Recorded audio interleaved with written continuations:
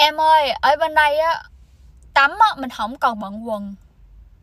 Ở bên đây nó còn có một cái biển là um, không còn bận quần áo gì hết á ở chuồng á đi tắm biển.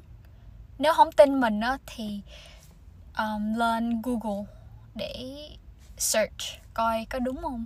Tại vì nghe nói là um, biển ở đây á tắm ở chuồng được á.